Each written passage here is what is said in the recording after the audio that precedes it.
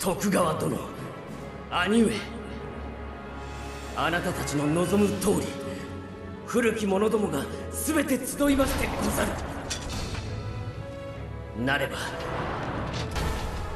消えゆく者の声この雪村がお届けいたし候。長宗我部貴様。何故我と敵対する？我らは共に徳川方ぞ。毛利どの面下げて言ってやがる！どうせ家康の寝首でも書くつもりだろうが愚物め。もはや徳川の天下は不動。ならば我はこの知略をもって天下人に駒となろう今さらそんな言葉に騙されるかよ。家康のためだ。あんたをここでぶっ潰す。我を潰すか。白昼堂々。愚かな夢を語った者よ。お二方同士討ちとは何事でござる。早々に感化を収められよ。うるせえ。外野が口出すんじゃねえってああんた信行の弟の真田幸村。つうかあんたは豊臣方じゃねえか。だったらなおさら敵難度に仲裁される言われはねえぞ。無益な争いに敵も味方もなきゆえしておけぬ。手をけぬだ。余計なお世話よ。それにこいつは無益じゃねえ大いに有益だぜ。なるほど。長宗我部貴様豊臣と内容していたな。ねててめえ何言ってやがる。長宗我部よ。徳川への卑劣な裏切り許しがたし。この場にて我が断固処断する。あ言いがかりつけんじゃねえぞ。裏切る気でいるのはてめえだろうが。ほざくか裏切り者め。ならば東照権現にその首を差し出し我が小さき功としてやろう。俺が上手に使わせてもらうぜ。ふん。手頃な捨て駒が手に入ったものよ。くたばりやがれ毛利家康が作る新しい国にはな。てめえみてえな性悪必要ねえんだ。海賊まがいのならず者こそ輝かしき世には不要よ。我が深淵なる知略へと沈め。少祖壁。双方いい加減になされよ。これ以上の無益な争いはこの雪村が許さぬ。なんだ？あんた俺の話聞いてたか？こいつは必ず家康やあんたの兄貴を邪魔しやがるぞ。下手すりゃ暗殺してでも天下を横取りしかねねえ。そのくらい平然とやってのける男なんだぞ。長宗我部殿友を思い新しき時代に希望を抱く貴殿の信内は理解申し上げる。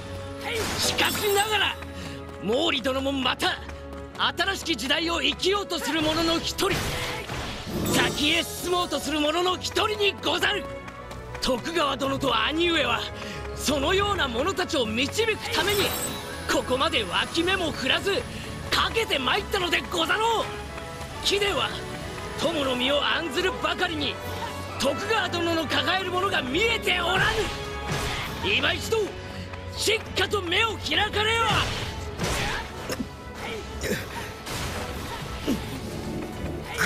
眠ってね。なんだってあんた。そこまで。黙って聞いておれば貴様ごときが我の辛抱遠慮を図り得ようはずもない。確かに我はことここに至り徳川を支持する愚など犯すつもりは毛頭ない。天下も奴に触れてやる。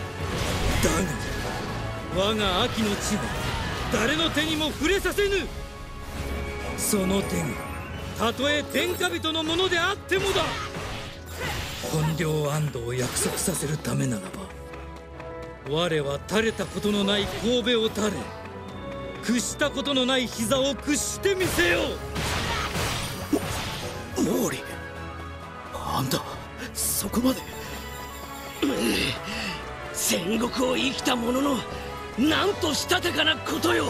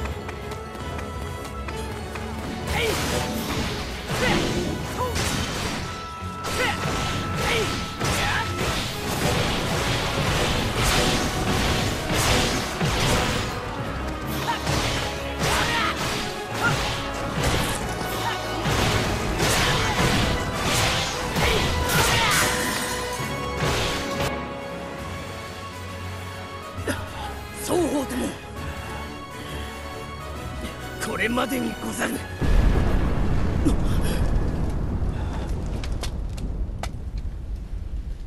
家康信行。ついに大阪城を落としやがったか「